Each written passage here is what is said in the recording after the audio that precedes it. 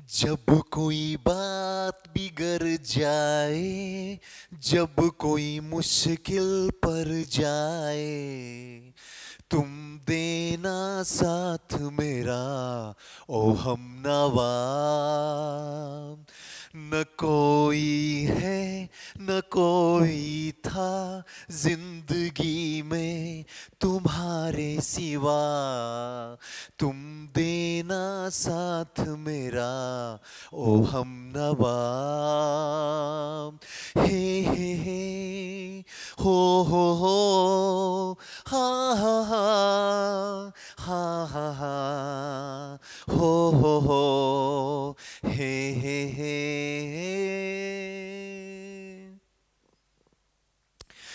नमस्ते दोस्तों, कैसे हैं आप? मैं Sujeet Kumar incredible IAS academy में आपका हार्दिक स्वागत करता हूँ। आज का वीडियो जो है, बहुत ही बड़ा काम का वीडियो है। दोस्तों, एक बात तो समझ जाइए कि अगर आप सिविल सर्विसेज़ की तैयारी के लिए सोच चुके हैं, चाहे आप टेंथ स्टैंडर्ड में हो, ट्वेल्थ स्टैंडर्ड में हो, graduation first year, second year, third year, या फिर इंजीनियरिंग कॉलेज में हो, या मेडिकल कॉलेज में हो, कहीं भी हो या फिर इस समय तैयारी के लिए शुरू कर चुके हो? ग्रेजुएशन कंप्लीट हो चुका है। तो ऐसे में सबसे इंपॉर्टेंट बात यह नहीं है कि प्रिलिम्स क्वालिफाई किया जाए। सबसे इंपॉर्टेंट बात है कि लिखने आया जाए। लिखना आना ही चाहिए एनी हाउ क्योंकि लिखना जब तक आएगा नहीं, जब तक आप सीखिएगा नहीं, तब तक सिविल सर्विसेज़ की तैयारी जो है, वो हमेशा आपकी अधूरी रह जाएगी। अगर अभी तक ये बातें जब तक आपके दिमाग में जा रही है और ये बात लग रही है कि सुजीत सर, अभी भी मुझे लिखना नहीं आता है। तो सीधा सा मतलब है, आपने एक साल, दो साल, तीन साल या चार साल जो समय दिए सिविल सर्विसेज़ को सबके सब व्यर्थ हो गया, बेकार हो गया।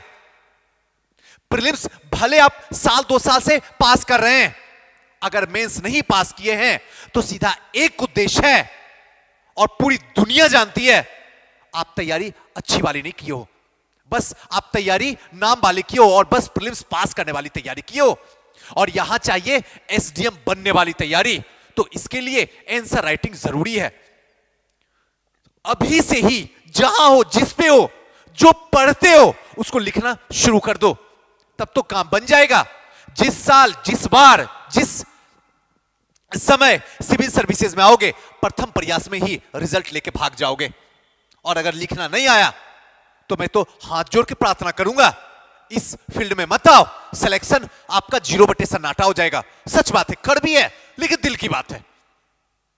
यह बात आप मान लो। अगर आप में बदलाव करना है नहीं सुजी सर नहीं आता था, लेकिन कोशिश कर सकता हूँ तो मोस्ट वेलकम है। आप आ सकते हैं यहाँ पे। यही बात है, जो कि आपको समझाना ज़रूरी है। आज का जो हमारा टॉपिक चलेगा, वो चलेगा एंसर राइटिंग कैसे लिखें? यानी कि सात दिन में आंसर राइटिंग लिखना कैसे सीखें? इसी को हम आपको सिखाएँगे, मात्र सात दिन में। छोड़ो ना दस दिन, इक्कीस दिन, पंद्रह दिन। सात दिन में। मात्र सात दिन में आपको आंसर राइटिंग लिखना आसानी से हम सिखा देंगे। लेकिन आप सीखने के लिए तैयार रहिएगा। तो इससे पहले दोस्तों, आपको मैं बता दूँ कि हमारा जो है संस्था श्योर सक्सेस में फाउंडेशन बैच स्टार्ट हो गया है ऑप्शनल बैच स्टार्ट हो गया, सारे ऑप्शनल स्टार्ट है हिस्ट्री ऑप्शनल भी स्टार्ट है, उसमें मैं खुद ही क्लास लेता हूँ। अगर आपका हिस्ट्री ऑप्शनल है तो आप हमारी संस्था आ सकते हैं। और अगर किसी और इंफॉर्मेशन की ज़रूरत हो तो nine double three four seven one zero one four eight पे आप किसी भी वक्त मैसेज या फिर कॉल कर सकते हैं, दस से चार। साथ साथ में जो है ओलंपियाड टेस्ट सीरीज़ आठ तारीख से लॉन्च हो रहा है तो आप हमारी दोनों ब्रांच में जुड़ सकते हैं। कहीं भी, या तो दिनकर गोलंबर, या फिर खजांची रोड। दोनों जगह हमारी ब्रांच है, कहीं भी आप जुड़ जाइए, जहाँ आपको नज़दीक लगे, वहीं हमसे बात कीजिए, वहीं हमसे पढ़िए, सीखिए, और एसडीएम पोस्ट पे जाके बैठिए। चलिए एंसर राइटिंग कैसे लिखा जाए, ये सबसे बड़ा यच क्वेश्चन है। बोलना, लिखना बड़ा आसान है, लेकिन जब लिखने की बारी वास्तविकता में आती है तो हालत खराब हो जाती है। सुइसर पढ़ सकता हूँ, बोल सकता हूँ, लेकिन लिखने वक्त जब बैठता हूँ तो कोई शब्द ही दिमाग में नहीं आता, सुन्न हो जाता है। सुन होने का यही मतलब है, सीधा सा मतलब आप अज्ञानी नहीं है, या आप कमज़ोर नहीं है, आप औरों से बेकार नहीं है, बल्कि प्रॉब्लम यह है कि आपके पास में अभ्यास नहीं है। आपके पास में सही गाइडलाइन कोई करने वाला नहीं है। बस इसी वजह से आपके पास में शब्द नहीं आ पाते हैं और आप लिख नहीं पाते आंसर राइटिंग कैसे लिखें और कहाँ से शुरुआत करें? जब मेरे पास कोई बच्चा आता है कि सुजी सर आंसर राइटिंग नहीं आता है, क्या किया जाए? हम कहते हैं, सुजी सर पे लिखो, लिख। सीधा सा मतलब। एकदम रियल वाली बात आपसे बात करूँगा इस वीडियो में। हम पे लिख लिखो। पापा पे लिख लिखो। दस ही लाइन लिखो छोड़ो ना सौ लाइन दस लाइन लिखो। मम्मी पे लिखो। अपने गाँव पे लिखो। गाय पे लिखो। अपने खुदा पे लिखो। सच बता रहा हूँ। और लिखते लिखते एक बार बस आदत तो हो जाए। उसके बाद तो हम जो चाहेंगे वो लिखवा लेंगे आपसे। बस एक बार आदत तो पड़ जाए। और यही आदत आप लिखना नहीं चाहते क्योंकि आपके दिमाग में रहता है, पता ना कैसा लिखूँगा, कैसा होगा? सुजी सर कॉपी चेक करेंगे तो पता ना कमेंट में क्या क्या बोलेंगे? अरे भूल जाओ। क्योंकि हर नया काम की जो शुरुआत होती है, वो सबसे बेकार से होती है। और उसका अंत जो है, सबसे बेहतरीन होता है। बस अंतर इतना है कि उसमें आपको लगे रहना है। यकीन मानो, आपका बेस्ट हो जाएगा। तो आप आज से, अभी से, जैसे वीडियो देख लिए, अब लिखना शुरू कर दीजिए। कुछ भी कुछ भी, आप अपने पीछे के लाइफ ग्रेजुएशन वाली लाइफ के बारे में कुछ लिखिए। लिखिए तो सही अच्छा बुरा छोड़ दीजिए। वो आपके बस के बाहर की बात है। लिखना आपके बस में है। बस लिखिए। देखिए आपका कमाल हो जाएगा। फिर ये क्वेश्चन ही आपकी ज़िंदगी में कभी नहीं आएगा कि आंसर राइटिंग कैसे लिखें और कहाँ से शुरुआत करें। जहाँ से दिल करे, वहीं से शुरुआत करो। जब जागो, तब सवेरा। सीधा सा मतलब है। कहाँ तो कोई बताएगा भी नहीं। जो चीज़ आप पढ़े हो, आज कोई एडिटोरियल पढ़े, ठीक है, पढ़ लिए। अब उसके बारे में दस ही लाइन लिखो ना। मत ज़्यादा लिखने की कोशिश करो, क्योंकि ज़्यादा लिखने के चक्कर में कुछ भी अच्छा आउटपुट नहीं हो पाएगा। कम लिखो, बेहतरीन लिखो सामने वाले की धड़कन को हिलाकर रख दो। क्या कमाल का लिखा है। और यकीन मानो, आज दस लाइन, अगले सप्ताह पंद्रह लाइन, और देखते देखते महीनों दिन में इतना बेहतरीन लिखोगे कि आप शब्दों से खेलना सीख लोगे। और जिस दिन खेलना आ गया, उस दिन आप एंसर राइटिंग के तो पारंगत हो गए। और यही चीज़ मैं बच्चों को सिखाता हूँ, और यही चीज़ आज आपको भी सिखा रहा हूँ। आप करना तो शुरू कीजिए। कितने पेज में लिखें, कितने शब्दों में लिखें, और कितने समय में लिखें? ये तीनों यच क्वेश्चन है। बच्चे समझ ही नहीं पा रहे हैं।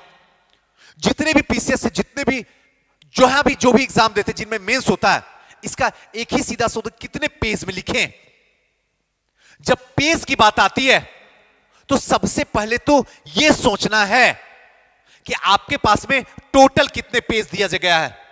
टोटल नंबर ऑफ़ पेजेस कितना है? पहला, समझिए मान लीजिए कि टोटल नंबर ऑफ़ पेज जो है, आपको 36 पेज दिया गया है।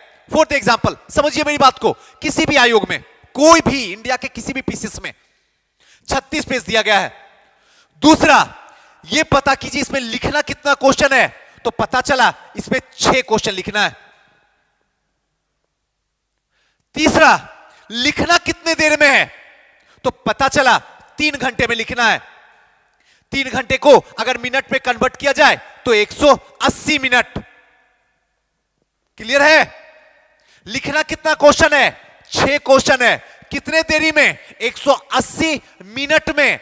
छह को 180 से डिवाइड कर दोगे तो निकल के आएगा 30 मिनट। यानी कि प्रत्येक क्वेश्चन पर आपको 30 मिनट टाइम देना है। निकल के आ गया। आपके पास में ही रखा हुआ है। मेरी तो ज़रूरत भी नहीं है आपको। तो ये तो कंफर्म हो गया कितने समय में लिखें? तो 30 मिनट में लिखें। बाकी अलग अलग पीसेस में अलग अलग टाइमिंग होता। है दूसरा, कितने शब्दों में लिखें? आप पता करो कितने नंबर का क्वेश्चन अगर फोर्थ एग्जांपल 36 नंबर का क्वेश्चन है। 36 नंबर का है, इसको 10 से मल्टीप्लाई कर दो। 360 बहुत ये जाएगा तो 400 शब्द 400 शब्द से नीचे रखना। सुजीत सर 400 शब्द से ज़्यादा लिख देंगे तो क्या दिक्कत है? दिक्कत कुछ भी नहीं है। अगले क्वेश्चन की वाट लगने वाली है, क्योंकि उसका भी टाइम लिमिटेड है। और कोई दिक्कत नहीं है। आप लिखो ना 500 600 में लिख दो। उससे कोई फ़र्क नहीं पड़ता है। अगला क्वेश्चन आप उतना नहीं दे पाओगे आउटपुट जितना मांग है डिमांड है। तो उसको देखते हुए इसको भी लिमिट में रखना है। क्योंकि लिमिट में रहोगे, तभी अनलिमिटेड नंबर आएगा, वरना तो बिखर जाओगे पल में। तो ये भी क्लियर हो गया। अब कितने पेज में लिखना है? नंबर ऑफ़ पेजेस कितना होना चाहिए? टोटल पेज जो है हमारे पास छत्तीस है। और हमारे पास जो है टोटल क्वेश्चन छह है। तो सीधा सा मतलब है कि कम से कम बत्तीस से चौंतीस पेज तक तो एनी हाउ लिखना होगा आपको। ऐसे अगर देखा जाए तो पाँच पेज आप मान के चलिए कि पाँच से ज़्यादा चल जाए, कम तो किसी भी हालत में नहीं जाना चाहिए। लेकिन वो जो पेज लिखिएगा उसमें जो क्वेश्चन की डिमांड है, उसी के अकॉर्डिंग आंसर लिखिएगा। ये नहीं कि कहानी रूपी स्टोरी टाइप से मत लिख दीजिएगा, वरना एवरेज मार्किंग से कोई नहीं रोकेगा। ये भी क्लियर हो गया? ऐसे ही आपको करना होगा। तब आपको जो मज़ा आएगा लिखने में, गजब का मज़ा आएगा। ये चीज़ जानना बेहद ज़रूरी है। तीसरा क्वेश्चन हैंड राइटिंग अच्छा लिखना ज़रूरी है सर एकदम नहीं ज़रूरी अच्छा लिखना। क्योंकि उस टाइम में पेन इतना तेज़ी से चलता है कि मानो बस आग नहीं लगती है, बाकी सारी दुर्दशा निकलती है पेन की। सारी दुर्दशा। इस टाइम में मैं ये भी नहीं कह रहा हूँ कि मोती जैसा हैंड राइटिंग होना चाहिए। लेकिन हाँ हैंड राइटिंग ऐसा होना चाहिए कि आप जो लिखे हो, वो किसी भी व्यक्ति को आपकी कॉपी अगर सुपुर्द किया जाए तो कम से कम आसानी से पढ़ लिया जाए बिना चश्मा लगाए हुए। और इतना सामने वाला आपसे डिजर्व करता है। और उतना आपको करना होगा। अब ऐसा नहीं है कि हड़प्पा कालीन हैंड राइटिंग लिख के दे दीजिएगा। मैं चेक ही नहीं करूँगा। आँख खराब हो जाती है। कौन देखे हो एवरेज मार के उठा के फेंको। तो याद रखिएगा हैंडराइटिंग बहुत बड़ा मायने रखता है। मोती जैसा हैंडराइटिंग होना ज़रूरी नहीं है। उससे कुछ प्रभाव नहीं पड़ने वाला, सामने वाला का। और आप लिख भी नहीं सकते हैं, क्योंकि टाइम वहाँ पे इतना तेज़ी से भागता है कि आप मत पूछो क्या होता है। एक बार मेंस देखो तो देख लो। लेकिन आंसर राइटिंग में जब लिखने बैठ रहे हो तो ऐसा ज़रूर लिखिए कि कोई भी व्यक्ति आपकी कॉपी को आसानी से चेक कर दे। बस, ये कंप्लीट है, क्योंकि ये भी बहुत ज़्यादा लोगों के साथ क्वेरी था। स्विस हैंड राइटिंग जो है, अच्छी होना ज़रूरी है या नहीं है? हैंड राइटिंग अच्छी मेरी नहीं है तो क्या तैयारी करूँ या ना करूँ? बदला जा सकता है। इस दुनिया में क्या नहीं बदला सकता सब कुछ अपडेट होता है। आप हैंड राइटिंग में क्यों नहीं अपडेट कर सकते हैं? अगर हड़प्पा कालीन हैंड राइटिंग तो मॉडर्न हैंड राइटिंग कर सकते हैं। बस एक बार शुरुआत तो कीजिए। नेक्स्ट एसडीएम वाला आंसर राइटिंग में क्या क्या होता है? जो टॉपर बनते हैं, उनके आंसर में क्या क्या मिला होता है? हम देखते हैं कॉपी पढ़ते हैं, सुनते हैं, लेकिन कभी उसको समझ नहीं पाते हैं कि आखिर वो लोग यूज़ क्या क्या कर रहे हैं। आखिर हम क्यों नहीं वो यूज़ कर पाते हैं? जानते भी हैं, समझते भी हैं, लेकिन फिर भी उसको यूज़ क्यों नहीं करते हैं? आइए, आज आपको यूज़ करवाते हैं कि वो यूज़ कैसे किया जाए। सबसे पहले भूमिका। ये सबसे इंपॉर्टेंट है। इसके बिना तो सब कुछ अधूरा है, जिसको इंट्रोडक्शन भी कहा जाता है। एक एक बात को बारीकी से समझिएगा। भूमिका। जब आप भूमिका लिख रहे हैं तो यकीन मानिए, वैसे शब्दों का प्रयोग कीजिएगा, जो सबसे ज़्यादा एट्रैक्टिव हो। जो सामने वाला जब पढ़े ना कॉपी तो कहना पड़ जाए उसे। बस इसी कॉपी की तो तलाश के लिए हम इतने देर से बैठ के कॉपी चेक कर रहे थे। यानी इंट्रोडक्शन जो है, पूरे के पूरे क्वेश्चन को समअप करके डालिएगा। जो क्वेश्चन वो पूछा जा रहा है, उसको सबको समअप करके बताइएगा। रहा सुजी सर, कोई क्वेश्चन को लेके हम लोग को समझाइए तो ज़्यादा बेटर होगा। तो आपसे वादा करता हूँ कि आज के बाद एक वीडियो बनाऊँगा जो हमारे क्लास के बच्चे होंगे। जो वो लिखेंगे, उनकी कॉपी को आपके सामने हर दिन कोशिश करूँगा एक लाके रखने का। आप लोग देख लीजिएगा। क्लियर तो भूमिका जो इंट्रोडक्शन होना चाहिए, वो अब रहा कि इंट्रोडक्शन कितने लाइन में होनी चाहिए? मात्र पाँच लाइन में। चार से पाँच, छह तो गलती से मत बढ़ाइएगा। कभी नहीं बढ़ाइएगा। पाँच जाते जाते उसको फुल स्टॉप एनी हाउ करना होगा आपको। बस पाँच लाइन पाँच लाइन से जाओ। और पाँच लाइन में ही वो सारी बातें कह देनी है जो मांग डिमांड कर रहा क्वेश्चन। बस, ये हुआ आपका इंट्रोडक्शन क्लियर दूसरा प्रश्न की मांग, जो बॉडी वाला पोर्शन है, कि अब जो है क्वेश्चन डिमांड क्या कर रहा है आपसे? उसको लिखना है। और वो भी जब लिखना शुरू कीजिएगा तो पैराग्राफ को चेंज करके लिखिएगा। ये चीज़ ज़रूर ध्यान रखिएगा। जो भी क्वेश्चन में दिया जा रहा है, उस क्वेश्चन को बॉडी पार्ट में लिखना शुरू कर दीजिए। जैसे ही बॉडी पार्ट में लिखना शुरू कीजिएगा, उसके बाद का जो कलेक्शन होगा, वो आपका फॉर्मेटिंग होगा। यहाँ पे थर्ड वाला पार्ट फॉर्मेटिंग अब फोर्थ एग्जांपल रहेगा, इसके राजनीतिक कारण, आर्थिक कारण, सामाजिक कारण, सांस्कृतिक कारण, धार्मिक कारण, भौगोलिक कारण। तो सारे जो कारण है ना, आप फॉर्मेटिंग में लिखिए। फोर्थ एग्ज़ाम्पल इस तरीके से। इसके राजनीतिक कारण, इसके आर्थिक कारण, इसके सामाजिक कारण इसके धार्मिक कारण इस तरीके से लिख दीजिए। और इस तरीके से लिखने के बाद, उसके बाद एक एक को लिखिए। मान लीजिए धार्मिक कारण। धार्मिक कारण लिखे अब जो धार्मिक कारण लिख रहे हैं, उसके बाद फिर से फॉर्मेटिंग बनाइए। धार्मिक में भी फॉर्मेटिंग बनाइए। ताकि जब एग्जामिनर कॉपी चेक करे तो उसको लगे कि नहीं, कहानी नहीं लिख रहा है, बल्कि पॉइंट वाइज हमको समझाने की कोशिश कर रहा अब धार्मिक है तो बताइए, कुर्तियाँ फैल गई है, अंधविश्वास है कर्मकांड फैला हुआ है, ये सारी पॉइंट को बताइए। उसके बाद आप पॉइंट वाइज आंसर लिखिए स्टोरी वाइज मत लिखिए, कभी मत लिखिए। अगर टॉपर बनना है तो। कहानी लिखना बंद कर दीजिए, गया वक्त कहानी का। अब पॉइंट वाइज आंसर लिखिए, यकीन मानिए आपका सिलेक्शन हो जाएगा। और अगर आपने स्टोरी वाइज लिखना शुरू किया तो खेल खत्म हो जाएगा, चौपट हो जाएगा। क्योंकि एग्जामिनर को खुद ही लगता है, बस ये स्टोरी बात बनाना जानता है। आता वाता इसको कुछ भी नहीं है। इसलिए फॉर्मेटिंग में आंसर लिखिए। फॉर्मेटिंग में जब आंसर लिखिएगा तो कई जगह जो है, ऐसा आएगा जहाँ पे डिमांड करेगा। जैसे बिहार की बेरोजगारी दर कितनी है? महिलाओं की साक्षरता प्रतिशत कितना है? ये जो अपडेट कुछ कुछ डाटा है, उसको दिमाग में रखना और उसको फटाक से यूज़ करना। है और साइड में बता देना है, कब का ये डाटा है? 2001 का है 2011 का है या 2021 का है? वो डाटा ज़रूर साइड में लिख दीजिए। इससे क्या होगा? आपकी आंसर राइटिंग में चार चाँद लग जाएगी। जब ये लिख ही रहे हो तो जहाँ पे ज़रूरत पड़े, जैसे चंपारण आंदोलन लिख लिख रहे हैं, महात्मा गांधी के नेतृत्व में तो वहाँ पे थोड़ा सा चंपारण का मेप बना दीजिए, मानचित्र। थोड़ा सा मेप बना दीजिए मोटा मोटी बिहार का मेप को आपको ध्यान रखना है, और उसी के अंदर सेंटर में डाल दीजिए, जहाँ पे चंपारण है। चंपारण क्लिक कीजिए, वहाँ लिख दीजिए चंपारण। मुजफ्फरपुर तो मुजफ्फरपुर लखीसराय तो लखीसराय, जहाँ जो घटनाएँ हैं, उसको इंडिकेट करके लिख दीजिए। बस इतना सा काम कीजिए, ज़्यादा करने की कोई ज़रूरत नहीं है। औरों से आपका आंसर अलग होगा। जब तक औरों से आपका आंसर अलग नहीं होगा, तब तक नंबर आप उठा नहीं सकते। आपकी औकात की बाहर की बात है। और यह काबिलियत आपके अंदर है। आप बस यूज़ नहीं करते हैं। क्यों? क्योंकि कोई बताने वाला आपको नहीं है। आज से, अभी से, इस खूबसूरत रात से ही आप शुरू कर दीजिए लिखना। देखिए आपका क्या होता है। तुरंत परिवर्तन हो जाएगा। और तब लगेगा कि अब सिविल सर्विसेज़ की रियल में तैयारी हो रही है।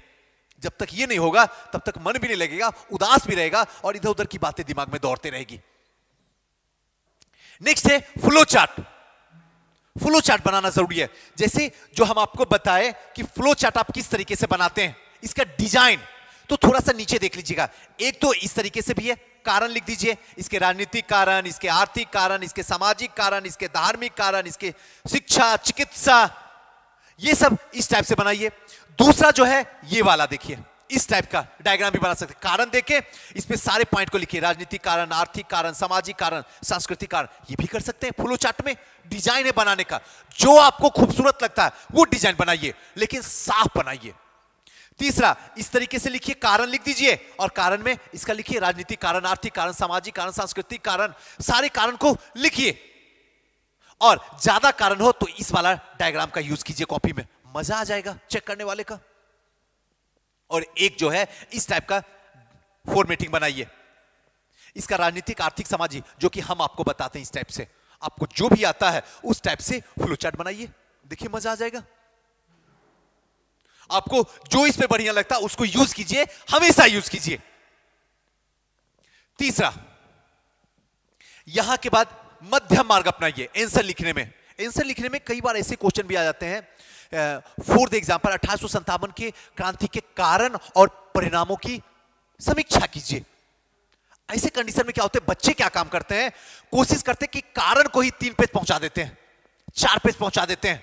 और परिणाम को एक पेज में समाप्त करते हैं। कभी नहीं। मध्य मार्ग। हमेशा मध्य मार्ग। ध्यान रखिएगा। जब भी कारण और परिणाम आए, मध्य मार्ग। बीच का रास्ता। दोनों को बराबर वेट दीजिए। और ये बहुत इंपॉर्टेंट है। ये कोई नहीं बताएगा बारीकी वाली बातें। और ये आप सीख लीजिए। जहाँ भी कारण, परिणाम रहे तो ऐसे कंडीशन में जब भी क्वेश्चन के एक से अधिक पार्ट हुए, अभी दो पार्ट की बात कर रहा हूँ, कहीं तीन पार्ट होगा तो तीन पार्ट में डिसाइड करना है। लिखना आपको पाँच ही पेज है और इसी पाँच पेज को तीन पार्ट में डिवाइड कर लेना। उतना ही में आपको समअप कर देना। खेल खत्म कर देना। आगे एकदम नहीं बढ़ाना। किसी को ज़्यादा और कम कीजिएगा तो सामने वाला मेरे ही जैसा एग्जामिनर बैठा हुआ जो आपकी कॉपी चेक कर रहा, वो समझ जाएगा। इसको कारण अच्छे से याद है, परिणाम अच्छे से याद नहीं है, तुरंत एवरेज मार्किंग डाल देगा। क्या फ़ायदा ऐसा पढ़ने से और ऐसा लिखने से? जो एवरेज मार्किंग आपको दिला दे और फिर बदनाम सब्जेक्ट हो जाएगा। ये सब्जेक्ट में ऐसे एवरेज मार्किंग आता है, आप करके ही तो आ रहे हो। अब आप जिसको बदनाम देना है, बंद देते रहो। तो याद रखिएगा, मध्यम मार्ग जब भी कारण परिणाम दो से, एक से अधिक पार्ट में क्वेश्चन पूछ रहा है तो आपको उसी के अकॉर्डिंग डिवाइड करके ही आपको लिखना होगा आंसर पहले दिमाग में बना लेना है। और फाइनली लास्ट जो है, निष्कर्ष। पूरा जितने भी आपने आंसर लिखे हैं, उसका कंक्लूजन निकाल के डाल दीजिए। और वहाँ से फटाक से बाहर निकल जाइए। ये आपका पूरा का पूरा कंप्लीट आंसर राइटिंग हुआ। ये एक ऐसा आंसर राइटिंग है जिसको आदर्श आंसर राइटिंग भी कर सकते हैं। ज़ीरो से लेके हायर लेवल तक आपका आंसर राइटिंग हो जाएगा। अगर इस तरीके से लिखना आज अभी इसी वक्त से शुरू कर दिए तो यकीन मानिए कि दस दिन में आप शब्दों से खेलना सीख लीजिएगा। आप खुद ही खेलिएगा, मुझ मेरी ज़रूरत भी नहीं पड़ेगी आपको। और सबसे लास्ट बात जो है डेली, बिना एतवार के, कम से कम तीन आंसर राइटिंग लिखिए। तीन तीन, कम से कम। तीन में क्या? दो ऑप्शन एक जीएस मैं तो कहूँगा चार लिखिए। दो ऑप्शन का लिखिए पेपर वन पेपर टू का, और दो जीएस वन और जीएस टू का। चार बिना एतवार के, कुछ भी लिखिए, दस ही लाइन लिखो ना। करो तो शुरू। चार बिना एतवार के, बिना कुछ समझे हुए, एक पागलपन लाइए। और जिस दिन पागलपन घुस गया अंदर, उस दिन शब्द आपसे खेलेंगे और आप शब्दों से खेलेंगे। चलिए दोस्तों, फिर किसी नेक्स्ट वीडियो मिलते हैं। तब तक के लिए नमस्कार।